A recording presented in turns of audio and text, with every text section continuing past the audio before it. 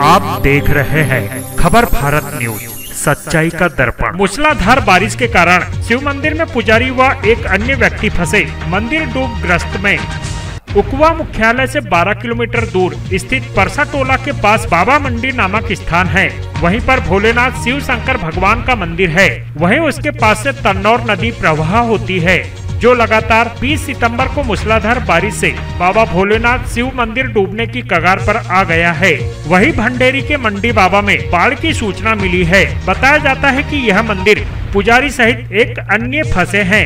तो वहीं पास में ग्राम भंडेरी, जो करीब में गाँव है, जहाँ पर साप्ताहिक बाज़ार सोमवार के दिन लगाया जाता है। किंतु मूसलाधार बारिश सुबह लगभग चार बजे से शुरू हुई, जो पूरे दिन भर बरसती रही। जिसके कारण मंडी बाबा, जहाँ पर शिव मंदिर स्थित है, वह मंदिर पूरी तरह बाढ़ ग्रस्त में आ गया है। खबर भारत न्यूज़ के लिए उखुआ से अशोक राउत की रिपोर्ट।